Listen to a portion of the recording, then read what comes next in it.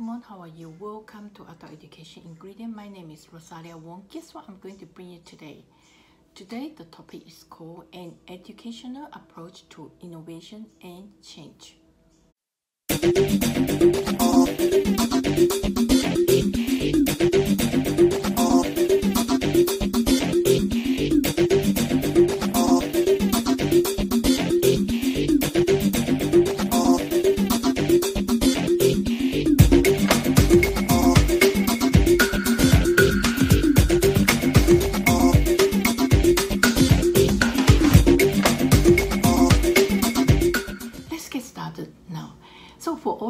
Awesome suggestion and advices, you can book me through the description section. Um, the link in the description section. So I will give you awesome insights into what you need to know for your profession and your organization. So let's get back to the topic now. So collaborative inquiry, the abbreviation is CI, used for uh, has been used for innovation and change in school and organization for many decades, and it is still widely used today.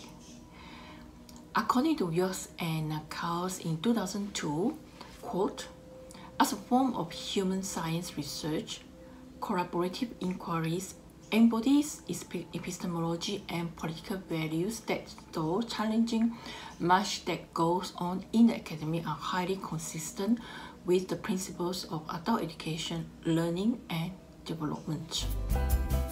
So you can subscribe to my channel by hitting button the button on the right hand side bottom of your uh, uh, mobile phone the video.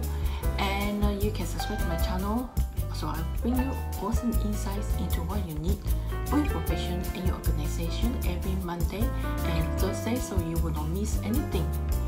And also for this video I have another video which is also about collaborative inquiry which is related to this video uh, is collaborative and effective structure for learning. You can find this link uh, video from the link above.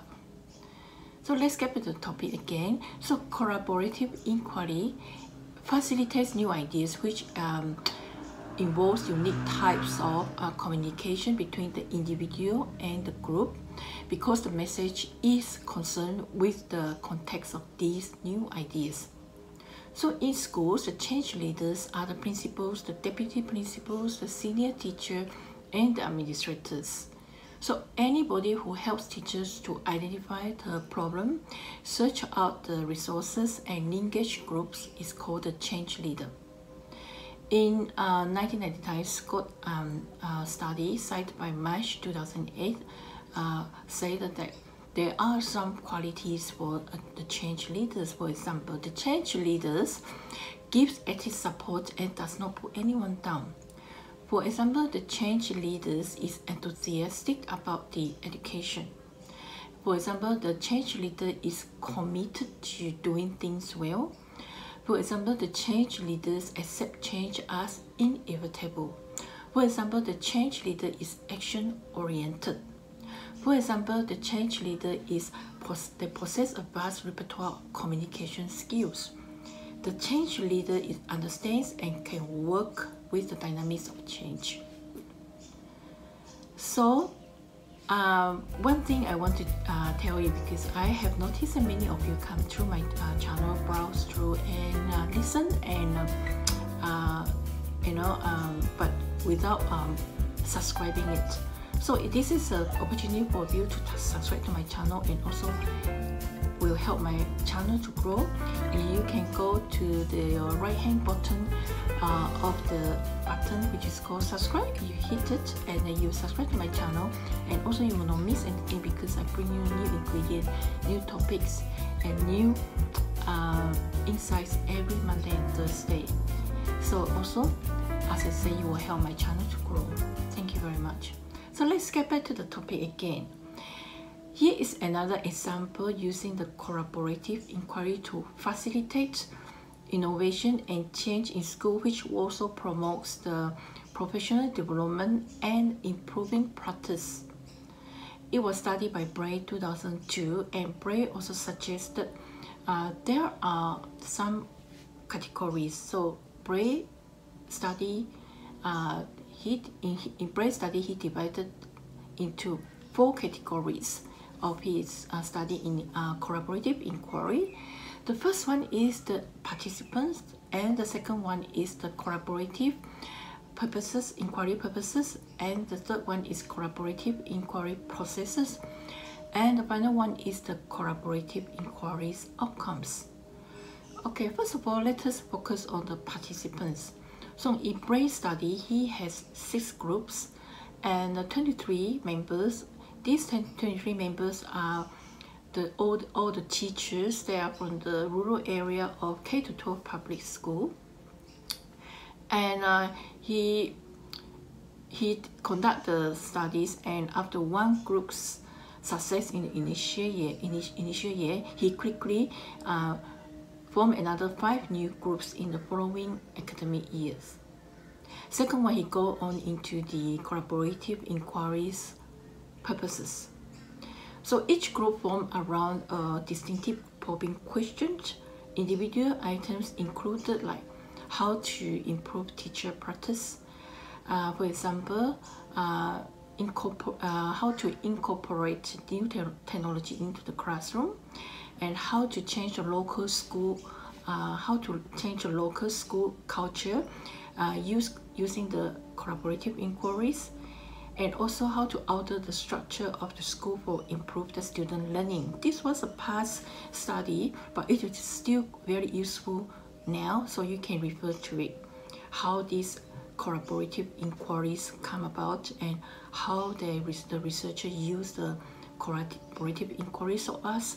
Even nowadays, we can improve through the past study, which help us a lot, I can guarantee. So the third uh, category he um, he studied was uh, focused on the collaborative inquiry processes. So the groups had no no formalized interaction.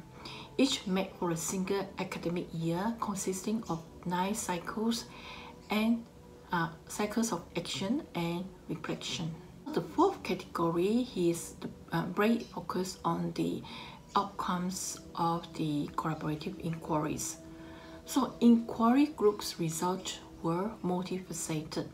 They include one invigoration of individual teacher for renewed efforts at self-improvement.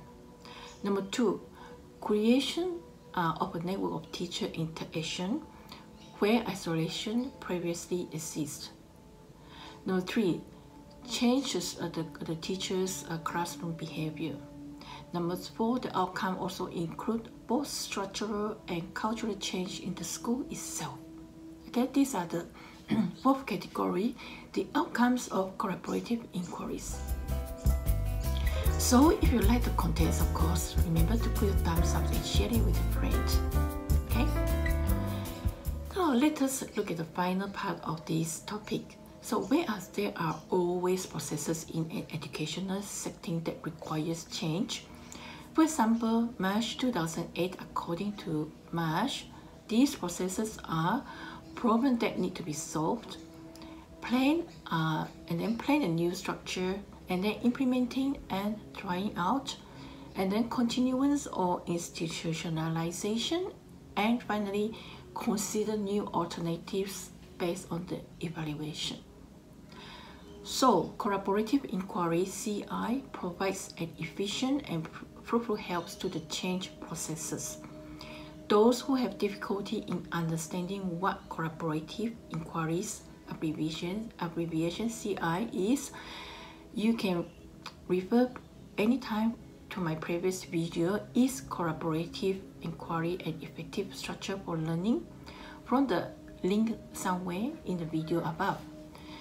So you can refer to the video link anytime if you don't uh, if you have a problem with understanding what collaborative inquiries is. So that's all for my topic today. And uh, remember, uh, if you need awesome suggestions and advices, you can book me through the link in the description section below.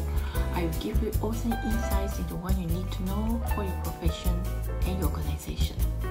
And also subscribe to my channel by hitting the button so you will not miss anything.